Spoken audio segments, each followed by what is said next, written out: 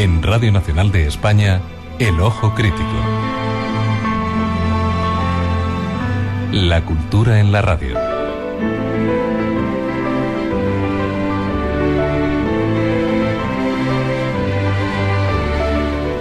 Hola, ¿qué tal? ¿Cómo están?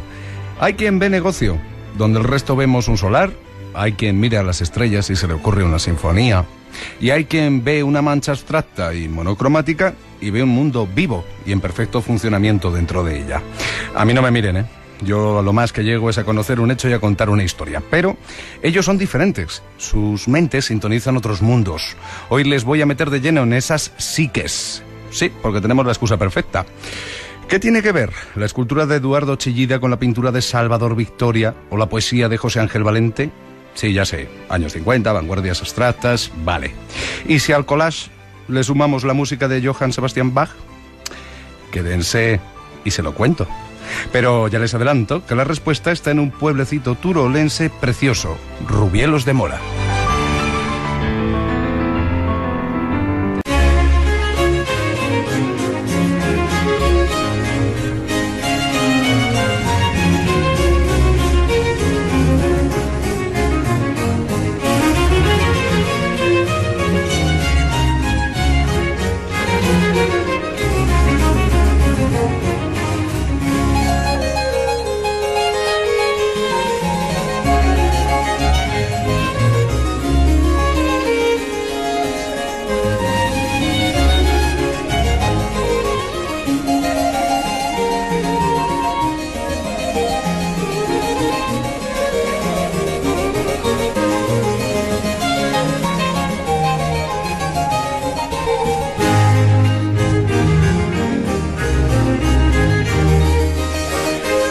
Pintor, Salvador Victoria, un escultor, Eduardo Chillida, y una pasión compartida, la música clásica, Bach, en concreto. Ambos fueron testigos de las vanguardias de los años 50 y no tardaron en protagonizar la llamada renovación plástica española. No solo se conocían, sino que trabaron amistad y gracias a eso, el Museo Salvador Victoria de Rubielos de Mora, Teruel, acoge desde primeros de julio 30 obras del artista vasco. Y nos alegra bastante, nos alegra por todo. Primero, porque no deja de ser una historia bonita que dos de los máximos exponentes de la vanguardia abstracta española vuelvan a encontrarse. Segundo, porque las obras del escultor vasco han encontrado un escaparate genial tras el cierre al que le ha obligado, vamos a llamarlo así, la crisis de la que ha sido su casa oficial hasta ahora, el Museo Chillida Lecu de Hernani. Y tercero, porque Rubielos de Mora, para el que no lo conozca, es un enclave precioso.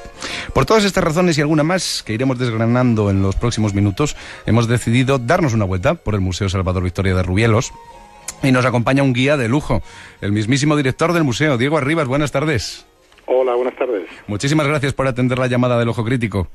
Vosotros, encantado. Bueno, enseguida hablamos de la relación entre Salvador y Eduardo y de cómo ha sido que hayan podido llevar hasta allí las obras de Chillida. Pero antes queremos que nos sitúes, porque el museo es mucho más. Para empezar, el mismo edificio donde está emplazado. Está instalado en el antiguo Hospital de Gracia. En efecto, es un, un edificio de la segunda mitad del siglo XVIII que tuvo su primera función como hospital de peregrinos y después, bueno, pues cumplió también otras eh, funciones. Eh, fue prisión durante las guerras carlistas, eh, sirvió también como dependencias municipales, almacén, en fin, tuvo varios usos hasta que por fin, en el 2000, 2001, pues después del fallecimiento de Salvador Victoria y la donación de su viuda de una buena parte de la obra del pintor rubiolano, al consistorio, pues decidieron darle un, bueno, pues una sede digna y se recuperó, se rehabilitó este antiguo hospital para su nueva función museística como Museo de Arte Contemporáneo. Bueno, la historia de, de, este museo, de esta fundación y Centro de Arte Contemporáneo, arranca, como tú decías, con el deseo del propio Salvador, que ya manifestó en, vida su intención de donar parte de esa obra a su localidad natal y que la viuda luego pues respetó.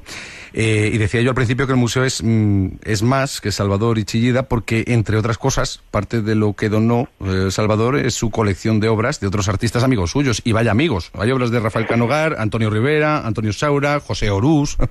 Sí, sí. vaya, ¿eh?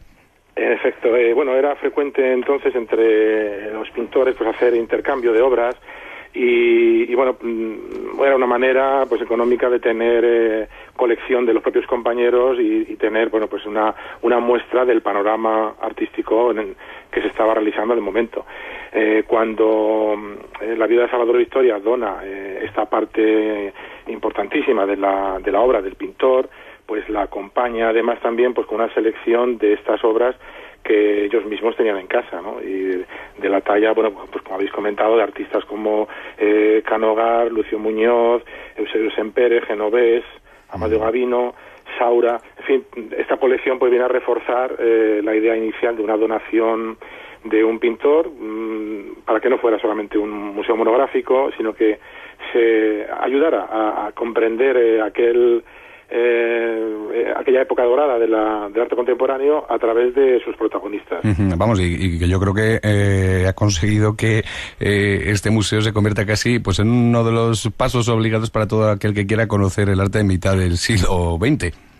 En efecto, es la línea que nosotros tenemos eh, encauzada, es decir, bueno, pues eh, mostrar esta, esta aventura, eh, este camino hacia la abstracción que asumieron una, una parte muy importante de jóvenes artistas españoles, eh, primero fuera de, nuestro país, pues una casi una eh, en fin, pues una exposición obligada a, París, donde estaban pues eh, en ebullición todas las vanguardias, ahí se conocieron muchos de ellos antes de conocerse en España, y, recoge, refleja un poco esa inquietud pues por romper con el, con el arte tradicional, el arte oficial, y una aventura que la verdad no sabían hacia dónde le llevaba. Ahora la vemos ya, eh, una vez ya reunida y, consagrada, decimos, bueno, pues qué bien, parece que, que estaba claro que iba a triunfar, pero no era así, o sea, fue una apuesta eh, muy arriesgada hacia un salto al vacío que efectivamente no sabían cómo iba a acabar.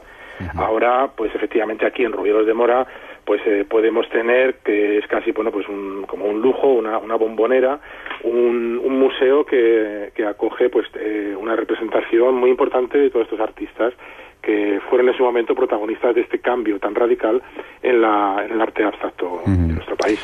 Bueno, ahora sí nos vamos a ir introduciendo un poquito en la muestra chillida. La iniciativa para traerlo a Rubielos parte de un encuentro casual entre uno de los hijos del escultor y la viuda del pintor. También hemos dicho que eran amigos, que esta y otra que hay cerca de Niza, al sur de Francia, son las dos primeras muestras que sepamos del escultor vasco tras el cierre del chillida Lecu en Hernani y que se titula, eso no lo hemos dicho pero lo decimos ahora, Tiempo, Espacio y Materia. Y a partir de ahí, la música clásica, o Bach. En, efecto, eh, bueno, pues mm, es uno de los elementos de unión también, aparte de esa inquietud por el, arte contemporáneo entre Salvador Victoria y Eduardo Chillida, pues el amor que tenían por la música clásica y, los dos, tanto como comentaba sus hijos como la viuda de Salvador Victoria, mm. utilizaban la música clásica para, para trabajar. Eh, tanto es así que la llevaron, mm, pues como el caso que nos ocupa, también a materializar en sus obras. ¿no? En el caso de, de Doro Chillida, pues hemos eh, traído a, a de Mora pues una, una serie de 12 grabados que él hizo en gran formato como homenaje al, genio de Bach, por el que sentía pues verdadera devoción. ¿eh? para, para Chillida pues era como un, arquitecto del, del sonido. ¿no? Y, bueno, no solamente eso, sino que también pues la, eh, la admiración que tenía por otros creadores, también pues del ámbito de la literatura, de la filosofía, pues también le llevó a hacerles homenajes, a rendirles homenajes explícitos en sus, en sus obras. Incluido José Ángel Valente. Exacto. De José Ángel Valente, pues mira, eh, la obra que tenemos es precisamente la, las ilustraciones que hizo Chillida al único libro que editó en gallego, que escribió en gallego, José Ángel Valente. Entonces, por esa mm, sintonía que, bueno, pues a través de sus dos lenguas maternas, ¿no? El gallego en caso de Valente y el euskera en caso de, en caso de Chillida, pues por esa sintonía pues eh, decidieron bueno pues hacer este trabajo en colaboración el libro era es las cánticas de Allen el que escribió Valente y Salvador eh, perdón Eduardo Chillida ilustró con unos eh, grabados y gofrados magníficos pues los poemas de Valente qué bueno. Eh, ¿Qué no puedo perderme de esa exposición, Diego?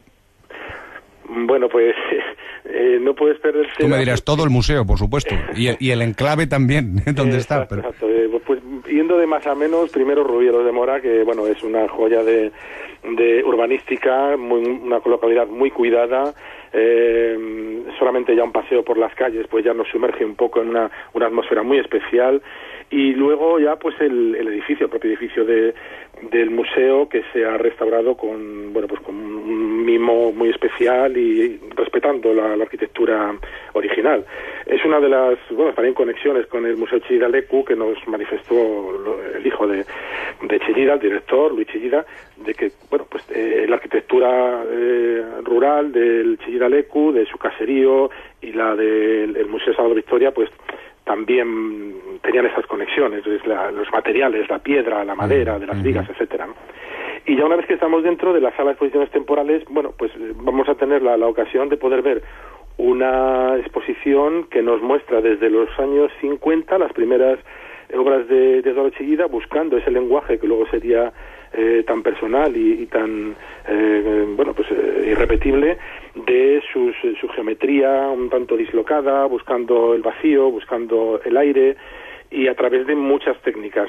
Bueno hemos querido que hubiera tanto obra gráfica como escultura collage y Lurrak, las piezas que él hizo también en con Collage que, que, rara vez se ve, además, en el caso de Chillida.